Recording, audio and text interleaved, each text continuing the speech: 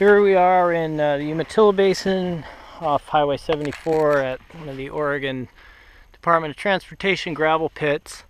Uh, so a lovely gravel pit. Oh yes. It's always nice.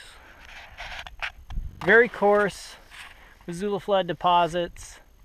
Uh, not a lot of silt, coarse sand mostly, and then gravels and, and boulders. But uh, once in a while you get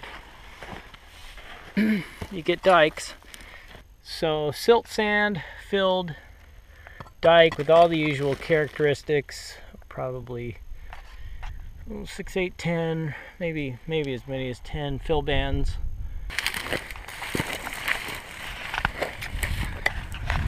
This gravel pit uh, basically exposes an eddy bar.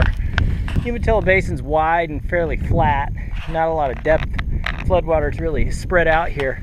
So even though a lot of coarse material is being moved, um, it's not the same as the Walla Walla Valley, which was a back flood uh, basin and a deeper ephemeral lake. So Umatilla Basin is kind of a weird place to find a lot of great outcrop. But where you do find things, you'll you'll always find dikes. So where you do have flood deposits, you have dikes. Here's a, an interesting clastic dike example.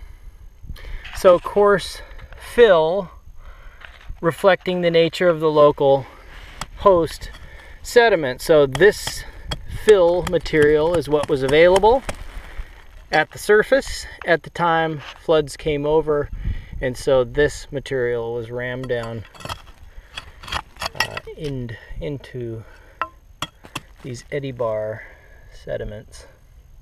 So I don't know, that's, uh, this is 15 or so, 16 centimeters wide.